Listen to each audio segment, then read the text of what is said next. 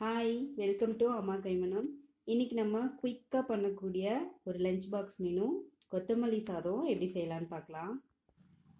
அதுக்காக நான் ஒரு சின்ன கட்டு கொத்தமல்லி எடுத்து வச்சுருக்கேன். இப்போது சாதம் எப்படி செய்யலான்னு பார்க்கலாம். நம்ம கொத்தமல்லி இலைங்களை சுத்தம் பண்ணி நம்ம ஜாரில் போட்டுடலாம்.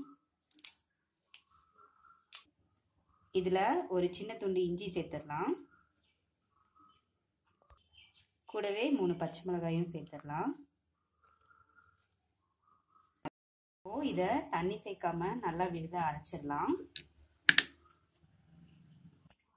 இப்போ நம்மளோட பேஸ்ட் தயாராகிடுச்சு பாருங்க இந்த மாதிரி கெட்டியாக இருக்கணும். நீங்கள் தேவைப்பட்டால் கொஞ்சம் தண்ணி கூட சேர்த்து நல்லா அரைச்சிக்கோங்க.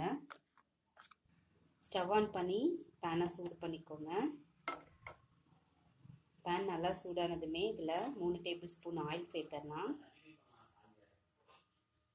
எண்ணெய் சூடாகட்டும். எண்ணெய் சூடாயிடுச்சு. இதில் ஒரு டேபிள் ஸ்பூன் கடலைப்பருப்பு சேர்த்துடலாம். கூடவே ஒரு டேபிள் ஸ்பூன் உளுத்தம்பருப்பு சேர்த்துடலாம்.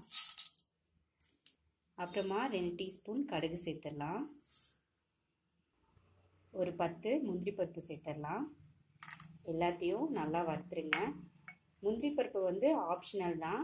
நீங்கள் வேர்க்கடலை கூட சேர்த்துக்கலாம். இது எல்லாமே நல்லா வறுபடட்டும். இதில் ஒரு காஞ்ச மிளகாய் சேர்த்துடலாம். இதில் ஒரு பெரிய வெங்காயத்தை நீல வாக்கில் பொடியாக கட் பண்ணி வச்சுருக்கேன். அதையும் சேர்த்துடலாம். சேர்த்து வெங்காயம் பொன்னிறமாகிற வரைக்கும் நம்ம வதக்கிடலாம்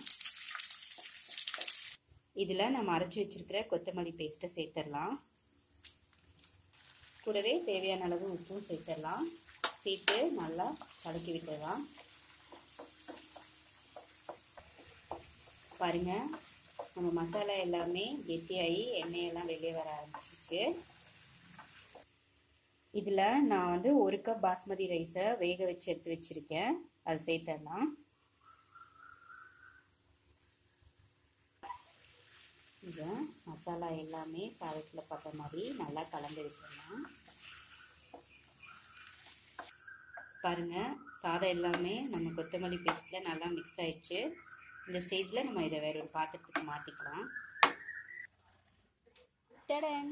நம்மளோட மனமான மல்லி சாதம் தயாராகிடுச்சு இதுக்கு உருளைக்கிழங்கு பொரியலும் தயிர் பச்சடியும் ரொம்ப நல்லாயிருக்கும் நீங்களும் உங்கள் வீட்டில் கண்டிப்பாக ட்ரை பண்ணி பார்த்து ஃபீட்பேக் சொல்லுங்கள் இந்த வீடியோ உங்களுக்கு பிடிச்சிருந்துச்சுன்னா எங்களோட சேனலுக்கு சப்ஸ்கிரைப் பண்ணுங்கள் சுவையாக சமைங்க ருசியாக சாப்பிடுங்க. தேங்க்யூ